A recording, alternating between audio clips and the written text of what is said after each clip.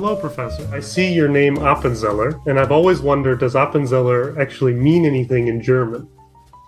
So it, it uh, the um, the family trees go back to Switzerland, uh, but okay. my father tracked this. Um, so there's actually a county Appenzell in uh, in Switzerland, mm-hmm. and um, um, but we we tracked back. My, my, father did a pretty good job. I think he went back uh, twelve generations and and still just German. But what it means is it's a cell. Cella means cell. Cell of the and Appen means abbey. Abbey. So it's a okay. Uh, it's it's a place where people were praying. Uh, monks came together, and and so around this um, um, abbey where all the monks were living, apparently uh, settlers kind of found their way of living around there, benefited from um, coming together and trading or whatever. Uh, but that must have been uh, quite a few hundred years ago. So, but that's what it means. Um, cell of the abbey. Yeah. Okay. Well, so because I, I was going to no. very brief German lessons I remember. I think yeah, Appel yeah. or Appel is is uh, no, so, it's not. So you mentioned that you your family goes back to Switzerland, but where where do you kind of originally spring up from? So where's your hometown? Uh, my hometown in in Germany is um, uh, close to the uh, middle middle west of Germany. It's in this steel production and coal mining area where I grew up. Uh, okay. And uh, then I went to study in Aachen, um, uh, Germany. That's at the border to the Netherlands and Belgium. And uh, I studied physics there, so uh, that's that's kind of my upbringings. And and I was I was, uh, if you don't mind me, kind of using oh, of this yours to expand a little bit. So I was um, actually born as a as a um, first child to my uh, father being a, a, banker, a bank employee, and my mother being an accountant. Mm-hmm. And uh, uh, they grew up in Second World War, so there was no way for them to get a higher education in any way, shape, or form. Mm-hmm. And uh, I'm I'm one of the very first in my entire family going going this route. Certainly the only one that decided for this STEM direction. So I'm I'm saying that because sometimes people are talking about legacy and and uh, okay, there is some kind of bias that was certainly not the case for me because there was nothing like this. I was growing up free roaming, really outside. I loved nature. I asked myself always the questions why is the sky blue? Why are the leaves green? Trying to understand humankind like people, like talking to people. I feel communication and understanding other people is uh, probably the most important thing in life, besides having some deep knowledge uh, when it comes to, to the science part. Mm-hmm. And uh, and uh, then at uh, a relatively early stage, I uh, I started to feel that hands-on experience is is something that I enjoyed a lot. And so my mm-hmm. father and I built while I was in middle school uh, mo- model ships with remote control. Uh, okay. And uh, so I, I, learned a lot there. And uh, also this hands-on experience to deal with wood, to deal with soldering and, and bending wires and so on. It was just a great experience that, that I had growing up. And I think ultimately these, because you asked this question, I think ultimately these were the roots that made me then feel, yeah, that experimental work is actually something I like a lot. So. Yeah. So what kind of experimental process is it that gets you excited? Is it thinking to do the experiment or bending the wires or, you know, seeing the result of all the labor? Because there are yes. all kinds of different ways people like to approach their work. Yeah, that's right. So if, if I would not have gotten any formal scientific education, mm-hmm. I think I would have loved to become a carpenter. So really okay. to see this process of of getting things done and and the outcome it's quite different from obviously you could argue what we are doing now but making something and and and you kind of giving it shape and mm. and kind of controlling the process of creativity right i mm-hmm. I, I, like to think about uh, myself as somebody that that likes to be creative maybe sometimes i'm not maybe sometimes i am but this mm-hmm. process mm-hmm. of building something creatively, I, I, think that is something that I felt always incredibly uh, appealed by. So. Ah, so yeah. it's, it's a type of creativity that comes from the interplay of the limitations of the whatever it is you're working on, with the sort of uh, hands-on creative of overcoming whatever it is that it has done. Is that correct? Or yeah, and, and actually, what you said is very true. You could further expand on it now when I decided to go more into this academic direction, mm-hmm. uh, me me trying to push myself to learn more uh, was motivated by my desire to be able to apply what I was able then to learn to become more creative. I think that's that's the strongest driving force for me to keep learning and improving because I have that strong uh, eagerness to kind of apply it then to to higher levels, if you want, of mm-hmm. creativity. Yeah. So, so that's very interesting because I know, because like, like as I like look around in academia, it seems like there are a, variety of different kind of because I, I guess there's a variety of approaches that people take toward their work, right? Some people are you know very excited by just the theoretical possibility of something. Some people are excited by the practical applications and some people are excited by just you know the sheer can we do it part of the work. So of this kind of spectrum of between very practical and very theoretical like where would you say you kind of land on this uh, sort of spectrum so I guess the reason that I um, brought up at the beginning this free roaming part and the curiosity in general that I feel is because um, I, I, I have a wide interest. I, am I'm, I'm, I'm broad. I would argue. I, I was mm-hmm. always very much into sports. I was very much interested, as I said, in communication with people, understanding humankind. Um, I, I, educated myself about uh, illnesses to some extent, uh, and and so this breadth, I think, also applies to my curiosity in, in my current field. You will see that students of mine are not only doing the uh, experimental work, I'm asking mm-hmm. them to do the interpretation. I'm asking them to come up with their own models. I'm asking them mm-hmm. to do their own simulations.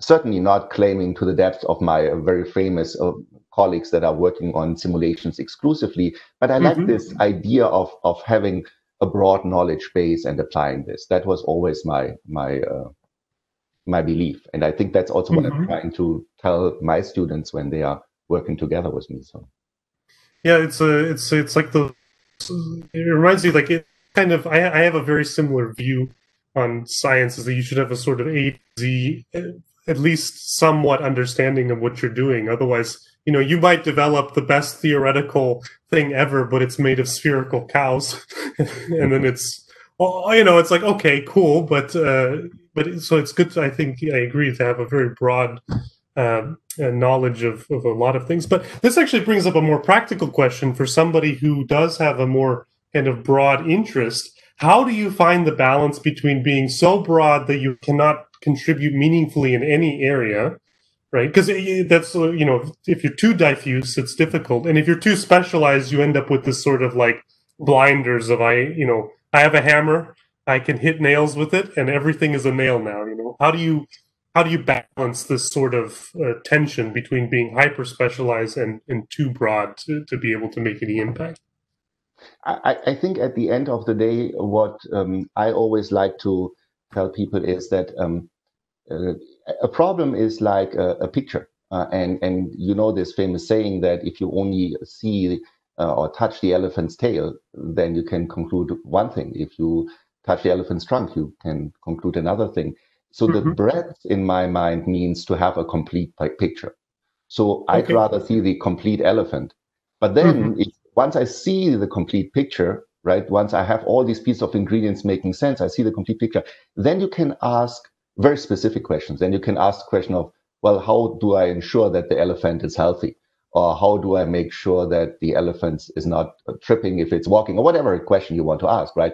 Mm-hmm. But if you don't understand the elephant is an elephant, there's yeah. no solution you can offer. And, and so understanding things in breadth is the prerequisite to solving in-depth questions at the end of the day.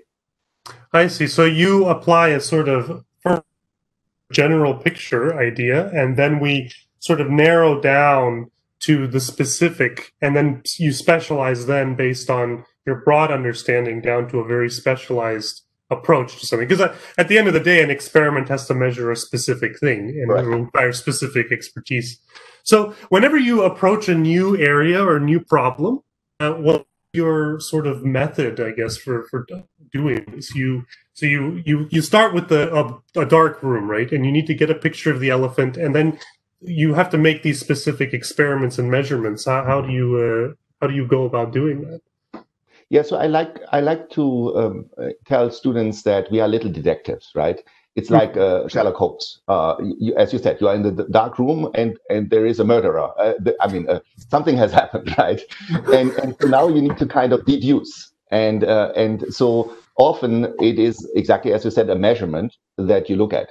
And uh, mm-hmm. Different people looking at the same measurement will come to very different conclusions about what, what caused this measurement to be what it is, right? right? And that is for me the detective work that I think you can only do if your base is in place, right? Uh, I, mm-hmm. I can give you multiple examples in my career where um, the work that was done, uh, the, the, the experimental work, was interpreted by uh, some of my colleagues that also published then uh, on, on, on their measurements, was interpreted mm-hmm. very different from uh, my interpretation. And that makes science so interesting, right? That you can come to different conclusions. And at the end, uh, uh, Sherlock Holmes was always right, and he found out what was really going on.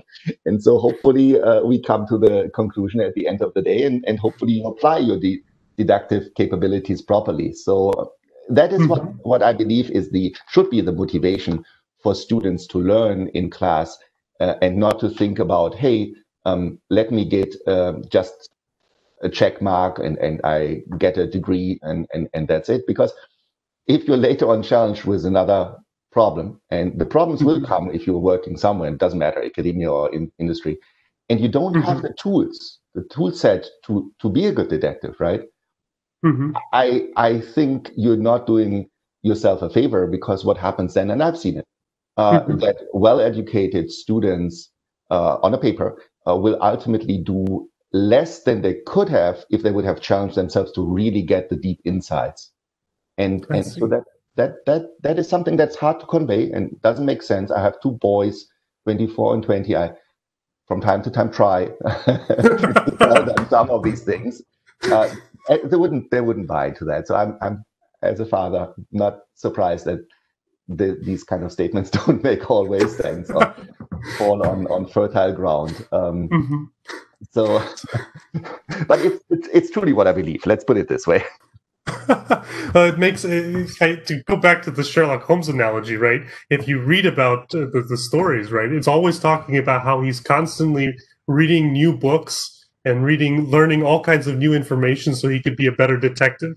That's why there's always the scene of the guy who comes in and he says, "Oh, my shoe has this red dirt," and he's like, "That dirt is from this specific mm-hmm. part." and yeah, so he'd be like, "Well, you clearly you came from Germany, you know, because right, some lint."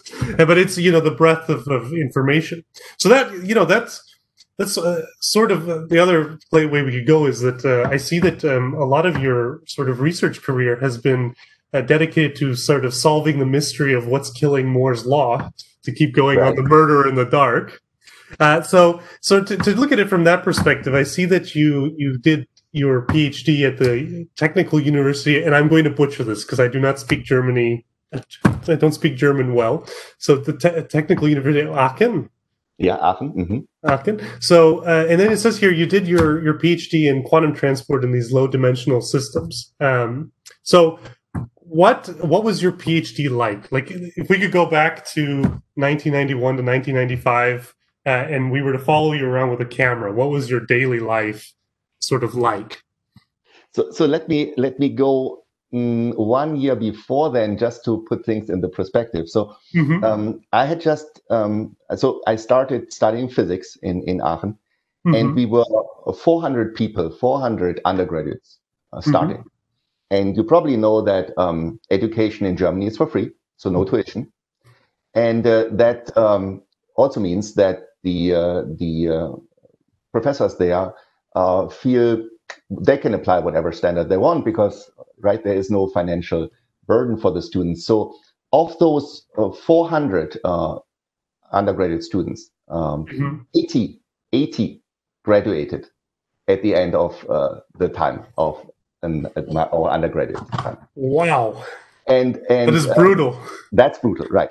And so going through this, and that's why I mentioned this, going through this really um, took quite a bit out of me. Uh, it was it was a very tough time, and mm-hmm. at close to the end of all of this, I, I contacted my mom. So almost four years into the process, and yes. I said to her, you know, this is not what I signed up for. Um, I'm going to quit.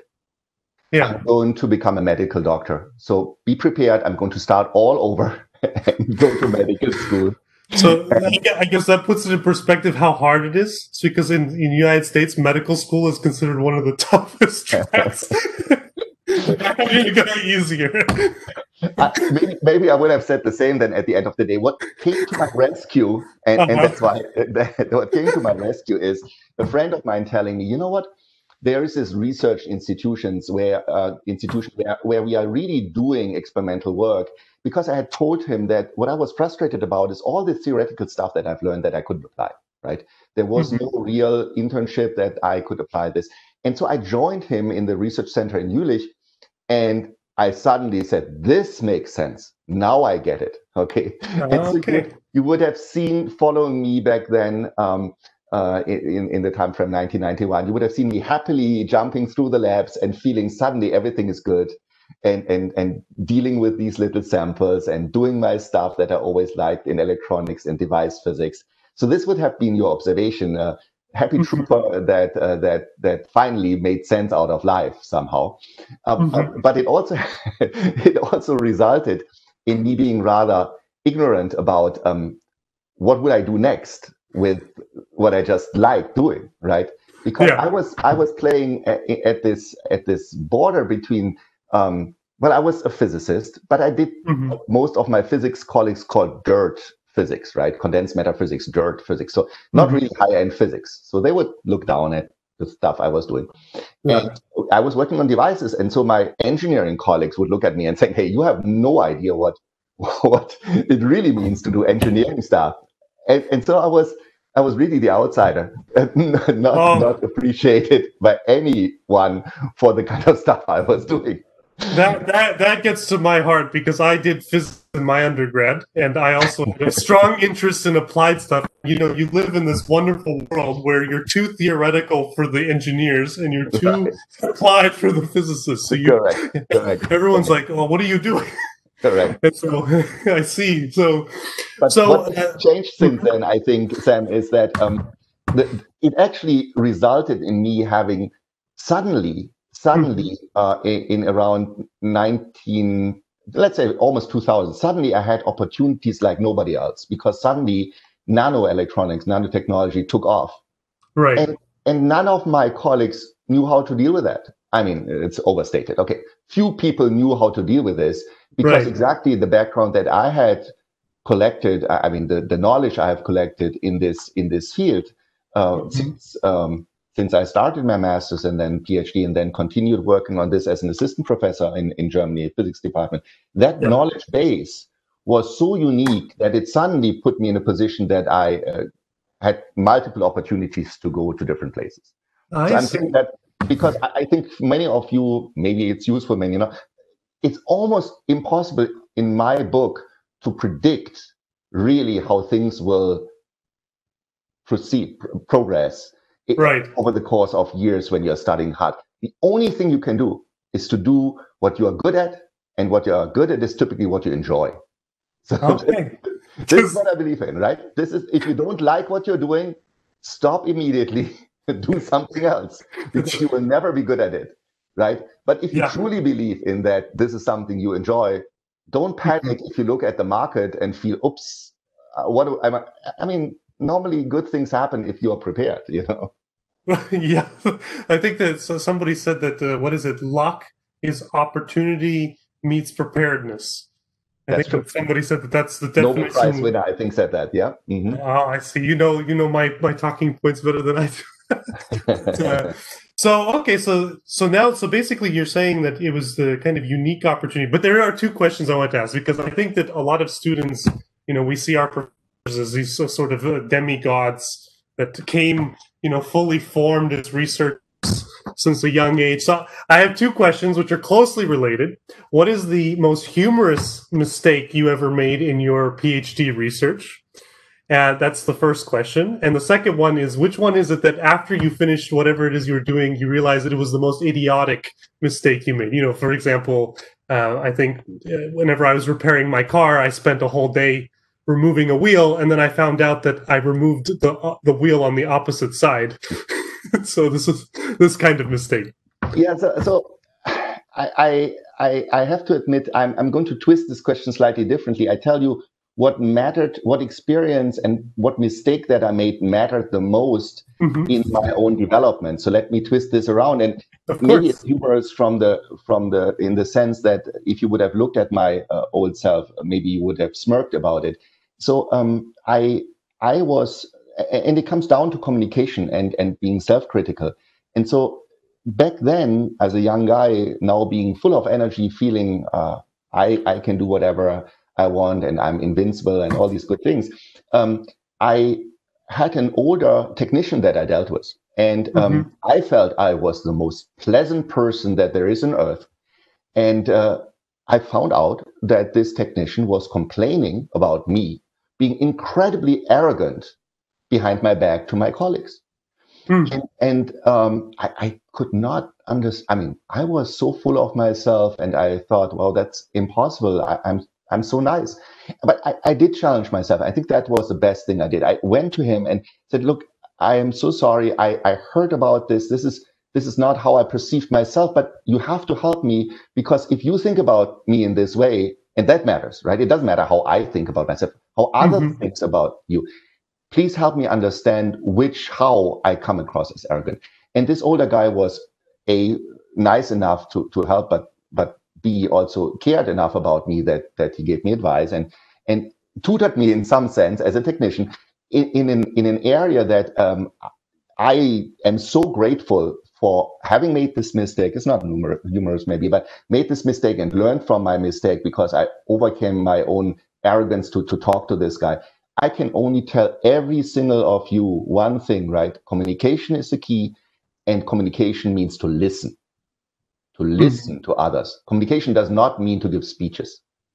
And, and many people can give wonderful speeches, but look around how many people can be self critical and listen to criticism and taking it in and trying to change something. Because the only thing that you can change is yourself. I'm not able to change my kids once I have made up my mind. I cannot change a student. I cannot change a colleague. I can only change myself. Hmm. Wow. Yeah, that's that's uh, excellent. Uh, excellent advice. Because I guess I, I, I know that some people, when they run into difficulty with experiments, right? This is something I learned sort of on my skin was that if you if you become involved in your experiment and you begin to you you're the way you view the experiment and the way you emotionally handle it is actually like you were saying changing yourself you need to you have to learn to modulate yourself. The experiment is reality. How you react to it, how you interpret it is your control. And that's what you have to exercise to, to basically focus on, on yourself, to improve right. yourself, to improve your process, and also to, yeah. So you were going to say. Yeah. So, so yeah, what you brought up is, is one of those, um, very difficult lessons I think all of us learn once we start to do something that is closer to professional life, which is PhD work, for example, that you suddenly uh, realize things are A, not under your control, uh, uh, but B, you have to keep going. You have to kind of find a way to overcome this problem. And I've seen that very, very capable students that have been blessed by by being incredibly smart and and and being able in a book smart way to to ace every single exam right? That they suddenly crumbled when things didn't work out in the lab. And mm. that is an entirely different uh, uh, type of work. To deal with your failure there to overcome this to pull yourself together to get up in the morning right? And and do it again and that is a, um, a character feat that some very smart students sometimes do not have. And, and on the other hand side, uh, some people do have that that had struggled in, class to some extent, mm-hmm. right? And, and so this is this is something specific and special, I think, for all of you guys uh, dealing with this. But if you go through with this, if you if you find your answer, if you find your solution without shortcuts, right? Mm-hmm. You are so much better prepared for life because reality is we will always somewhere, right, in our future face problems that we will not solve in the first place. Right. Yeah. yeah, that's that's how I, how I definitely learned this research. Uh, so I unfortunately think we're coming very close to time. Uh, are there, if you could force every student in Birck to memorize like one lesson that you have to give from everything you've experienced in your life, like what what lesson would you like force us all to write on our you know walls so we see them every day? Be diligent. Be incredibly diligent hmm. and and well organized and timely in the things you're doing. Do never fall into the trap of procrastinating. Biggest trap out there, mm-hmm. right? That is what I would say to every single of you if you can. And I know there are reasons and there are excuses for this, but if you can do this, because with diligence, you can overcome many problems that sheer intelligence, raw intelligence, cannot tackle. Hmm. So don't make the mistake again to assume I'm smart. This is it. No. If you're not diligent at the same time, your smarts only get you so far. I see. Okay. So, you know, I do have a question. You mentioned that to be very, very diligent. Um, what tactics do you use to kind of combat any kind of excuses or if you are inclined to procrastinate? Because I know every one of us, right, has the inclination, right? Why get up today to go and turn the gears a little bit farther, right? Yeah. So, so you you would laugh about if you look around my office space here. Not mm-hmm. only do I put all my um, meetings and little reminders and everything that I need to think about, and I know I could forget. Not only do I put that into my calendar, and I have little things everywhere.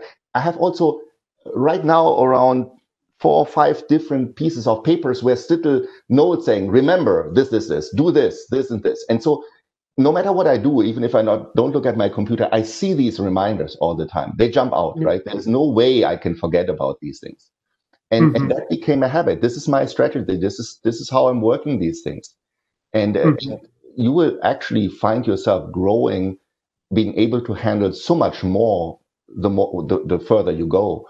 And mm-hmm. and that's the, the other thing. Don't keep challenging yourself. Don't think this is it, right? I only need to go through my PhD and then that's done sorry to break it to you, but if you really are thriving for excellence and, and want to have a career, you never stop pushing hmm. yourself forward. I see. Okay, so constant improvement and being very vicious with procrastination inclination. So be tough, be tough on yourself. Don't expect others to do your work. I guess that's another thing. Mm-hmm. If if I turn around and saying, if I'm just becoming a manager, my life is going to be easy because then I tell the others what to do. If I'm an advisor and I tell you as a student, look, you do all this type of work and I'm not leading by example, right? And I'm not taking the biggest load and I'm not mm-hmm. there all the time working. How can I expect others to do something? Right. Yeah. Unfortunately, it looks like we are out of time. Well, thank you so much, Professor Appenzeller. Sorry, sorry for the trouble with the with the Microsoft team. I don't know what I did wrong, but I will learn these things too.